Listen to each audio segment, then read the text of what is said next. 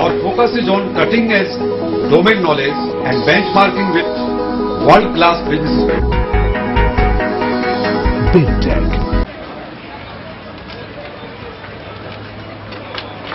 Come on, Redskins! ये बच्चे थोड़े बड़े हैं सोलह साल से ऊपर हैं